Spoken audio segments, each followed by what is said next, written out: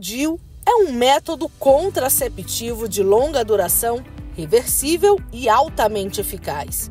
A Miriam escolheu o método e hoje vai fazer a colocação.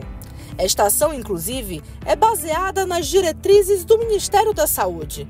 Um benefício para as mulheres e garantia do poder de decisão, da autonomia, dando a possibilidade da escolha do momento exato para engravidar.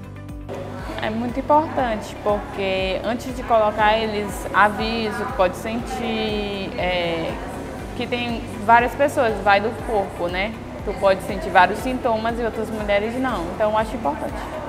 A Secretaria de Estado da Saúde deu início a um mutirão de inserção do dispositivo intrauterino. Vão ser 66 pacientes de unidades maternas da rede estadual de saúde, sendo a primeira turma no período de 7 a 14 de novembro e a segunda de 18 a 25 de novembro. E aqui mesmo, as beneficiadas recebem orientações e tiram dúvidas sobre o método.